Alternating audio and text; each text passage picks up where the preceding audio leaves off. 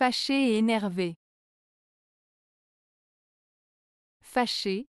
Lorsqu'une personne est fâchée, cela signifie qu'elle ressent de l'indignation ou de l'irritation face à une situation ou à une personne. Cette émotion peut être exprimée verbalement ou non. Exemple, Jean est fâché contre sa sœur car elle a emprunté sa voiture sans lui demander. Martine est fâchée contre son patron car il ne lui accorde jamais de jours de congé supplémentaires.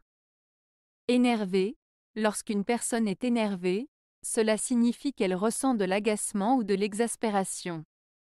Cette émotion est souvent causée par une situation qui provoque de l'irritation ou du stress.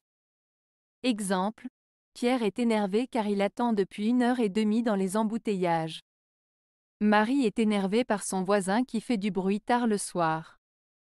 La principale différence entre fâché et énervé réside dans la source de l'émotion ressentie.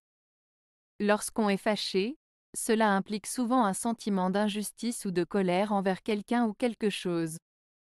En revanche, lorsque l'on est énervé, cela indique un sentiment d'irritation ou d'exaspération causé par une situation ou un comportement spécifique. Alors que la colère peut être plus intense dans la fâcherie, l'énervement est généralement associé à un agacement plus léger mais constant.